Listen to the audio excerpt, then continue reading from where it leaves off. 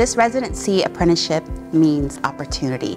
Never in my mind thought I was going to come back to college and now having this opportunity, it, I'm so grateful for it. It's made it a lot easier. It's made it uh, more streamlined and the ability to get in there and, and have the support and do all of this um, with all the other things going on in life, it makes it easier. This opportunity kind of feels like a second chance to be successful at something that I'm passionate about.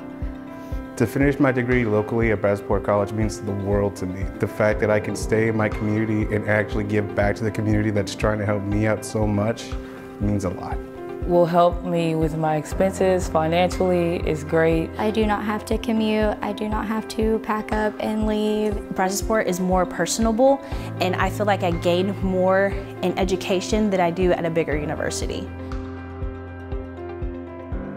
Um, working with a mentor teacher um, gives me the opportunity to, to work with um, someone that's established with the district, that knows um, the routines and um, what it what it takes to be a teacher. Having somebody to lean on and kind of guide you through the trials and tribulations of the everyday classroom.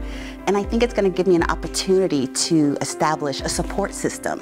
Having that support is going to be very valuable for my success of, of becoming a teacher. I want to become a teacher so I can be the mentor that I know I can be. Everyone needs someone to aspire to, someone to look forward and try to go past. I'm very excited to be that. I'm most excited about being able to do this with a lot of uh, people that I know from home.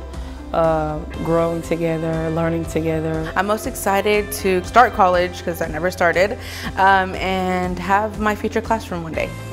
This will give me the confidence I need to, to have my own classroom and to work with students day in and in a day out basis.